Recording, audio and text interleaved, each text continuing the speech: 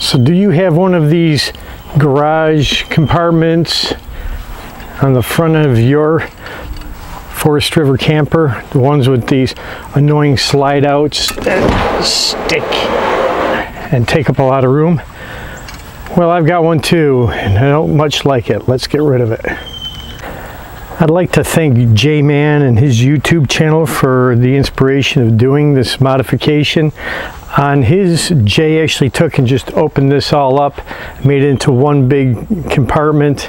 I think I'm going to do a little bit different. I'm going to build a compartment on the far end and keep that kind of separate where I can utilize the door and the rest of it will be accessible and I'll still have a partial shelf over here. So uh, well, let's get ahead and start tearing things apart. This top uh, piece of wood here is held in with square headed screws so you need to get a square headed screw remover. just just pull these all out. I think there's like six or eight of them.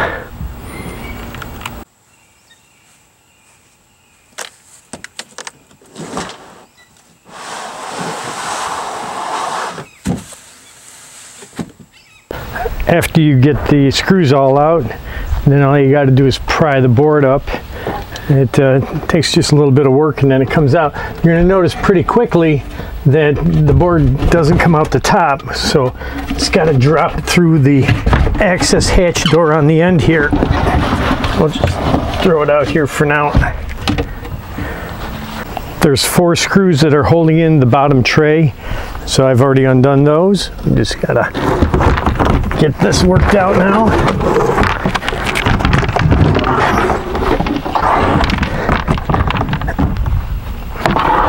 And there we go. It's all nice and open. This wall right here went down in front. There's no way to remove this unless you want to take the door off and get a little more room. So I'm going to just cut this in place I don't want to chop it all the way up because it's got a lot of good wood in here and I'll be using it for uh, building the compartment that I'm going to be putting over on this end here. I've already cut through the board. It wasn't very difficult and I just have to give that a little snap and I can pull out the sections and a couple of pieces. This is, again, this is still good wood here. Want to keep some of this for the new compartment. This compartment measures about six feet 10 inches long. So I'm going to take that end and I'm going to make about a two foot compartment coming in and box that all out so I have outside storage I can use that for like wheel chocks and and uh, boards for leveling things like that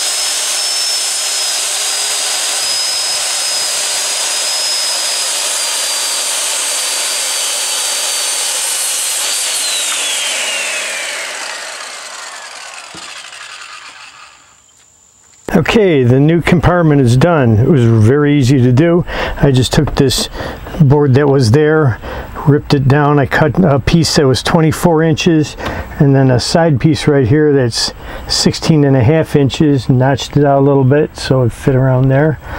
And I took the uh, original lid that went on the original container there and I ripped a piece down to match and just drop that down into place and all set to go. So I still have a shelf that I can utilize and I've got all this storage now that completely goes down to the bottom. I can put lawn chairs and umbrellas and mats and anything else that I have that I need to utilize. So I hope you enjoyed this quick project.